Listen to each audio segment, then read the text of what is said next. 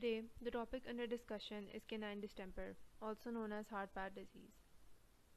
Let us start with a brief introduction of today's topic. Canine distemper is an acute to subacute contagious febrile disease.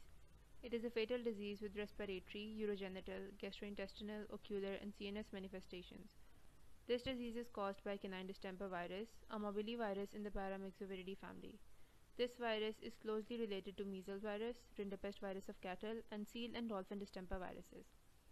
Canine distemper affects different species of the order Carnivora, which include Canidae, Hyenidae, Mustelidae, Procyonidae, Viverridae, and Felidae. Let me now elaborate the pathogenesis of this viral infection. Natural route of infection of this virus is airborne and droplet exposure. The virus then enters from the nasal cavity, pharynx, and lungs the macrophages then carry the virus to local lymph nodes where viral replication occurs.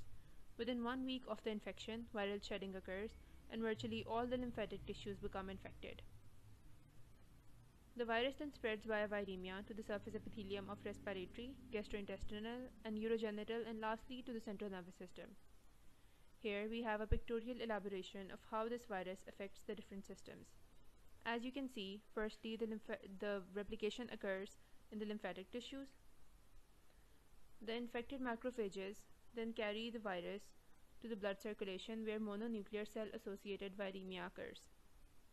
The virus then reaches the brain and firstly perivascular infection and then periventricular infection takes place.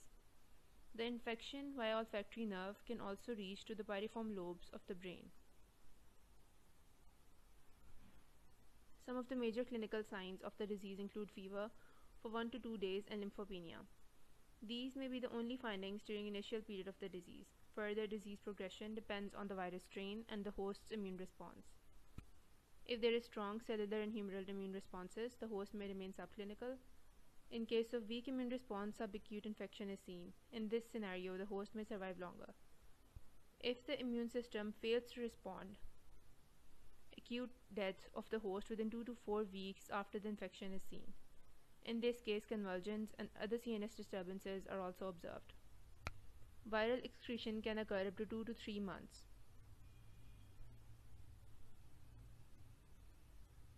One of the most important clinical findings of the disease is biphasic fever. The first peak, the first peak of the fever is seen 3 to 6 days after infection. It may pass unnoticed. However, the second peak it occurs several days later, usually associated with nasal and ocular discharges, depression, and anorexia.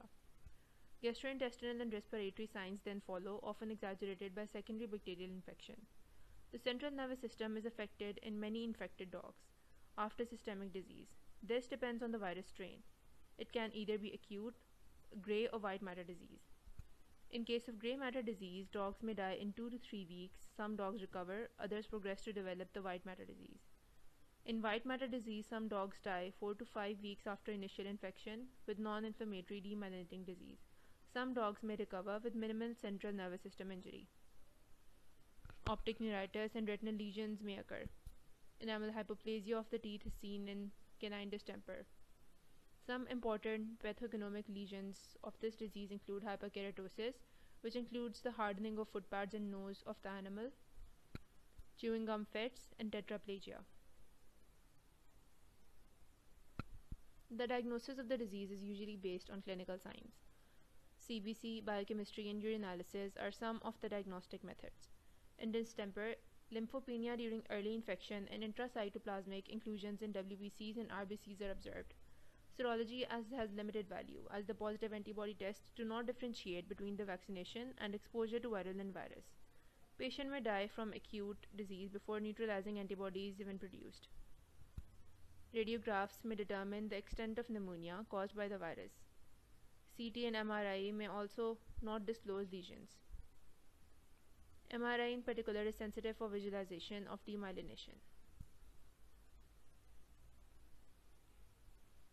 The differentials for the disease include kennel cough, which can mimic the respiratory disease. In enteric form, differentiate the virus from canine parvovirus, coronavirus infections, giardiasis, bacterial infections, gastroenteritis, and inflammatory bowel disease. In nervous form, differentiate the disease from autoimmune meningoencephalitis, protozoal, fungal, and rickettsial meningoencephalitis. Let's now discuss the treatment of the disease. Antivirals are not known to be effective. The medication includes the use of broad spectrum antibiotics to reduce to reduce the secondary bacterial infection. Because canine distemper virus is highly immunosuppressive, ampicillin, tetracycline, and chloramphenicol are very good choices. The use of anticonvulsant therapy is also ne necessary. Phenobarbital, potassium bromide, these can be used to control seizures. Corticosteroids are effective, but remember to use anti-inflammatory doses with caution. The use of steroids may provide short-term control, however, immunosuppressive doses may enhance the viral dissemination. The prevention and control of the virus include isolating puppies to prevent infection from wildlife or from infected dogs. Modified live vaccine of canine distemper prevents infection and disease. Two types of this vaccines are available. Number one, canine tissue culture adapted vaccines, and number two, chick embryo adapted vaccines. Kill vaccines are useful for species in which either type of modified live vaccine is fatal. Recombinant vaccines of canine distemper virus include canary pox recombinant vaccine. Duration of immunity from these vaccines, vaccines is over three years.